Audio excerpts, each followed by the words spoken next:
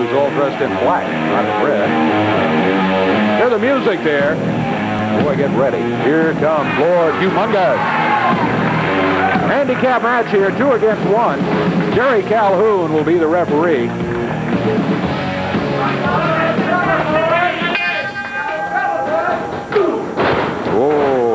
Blue Knight and the Shadow run into Lord Humongous, and both of them just bounced off of him. Now they're going to try one from the front, one from the back. They run into him, and again, they don't even shake him. The Shadow up in the air, slam, and the Blue Knight comes running at him. He's slammed.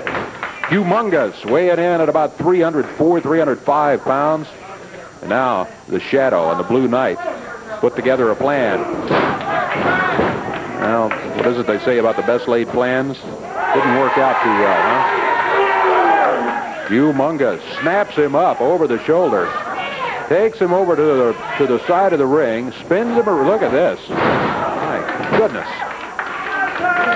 Throwing him around the ring like a stuffed animal. Oh, headbutt. There's a a cover on both of them. One, two.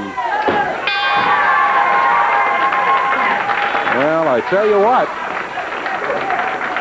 the Shadow and the Blue Knight tried just about everything they could think of, and they did not ever even shake Lord Humongous, who easily, easily wins the match and uh, leaves here with a victory in hand. Here, let's take a look right now at uh, none other than Jeff Jarrett. Good morning. It's 7 o'clock, straight up and down. Time to get up and get going. Rock and roll time. Born to be my baby. You know it. Bon Jovi. Good morning.